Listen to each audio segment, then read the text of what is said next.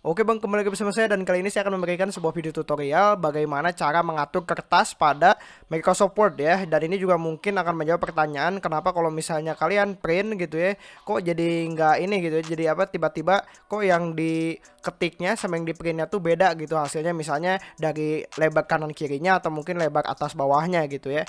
Nah Sebenarnya untuk mengaturnya ini gampang banget ya kalian. Misalnya kalian kalau misalnya kalian mau mengeprint gitu ya, ngeprint di misalnya di warnet atau di mana pun, pastiin kalian tahu dulu ukuran kertasnya ya. Misalnya ukuran kertasnya tuh A4 atau F4 nih ya.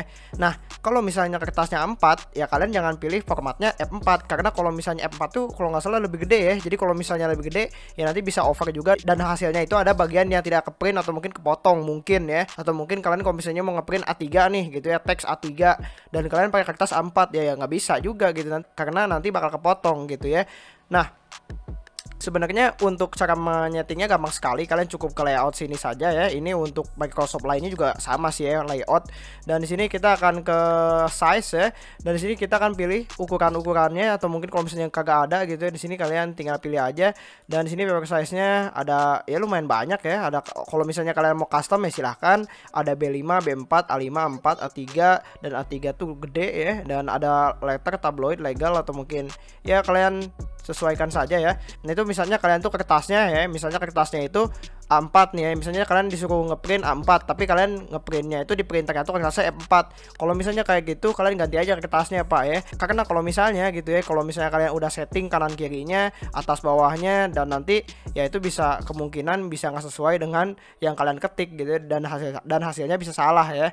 Dan di sini kalian cukup misalnya di sini file dan lalu kalian print dan udah gitu ya terserah itu terserah kalian ngeprintnya atau mungkin kalau misalnya kalian mau ngubah saat di printnya kertasnya bisa diklik di sini ya.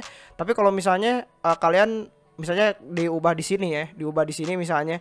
Nah, nanti ini si teksnya tuh bakal semacam uh, menyesuaikan gitu ya. Nanti kalau misalnya ada teksnya di sini dan di sini kalian cukup ganti aja ke ukuran kertasnya yang kalian pakai di printernya dan setelah itu kalian tinggal print gitu ya. Udah di print, udah beres gitu ya.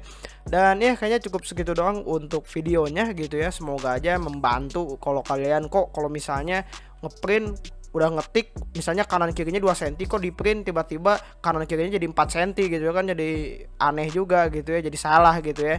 Dan ya kayaknya cukup segitu doang untuk video tutorialnya semoga membantu kalian dan thanks for watching bye bye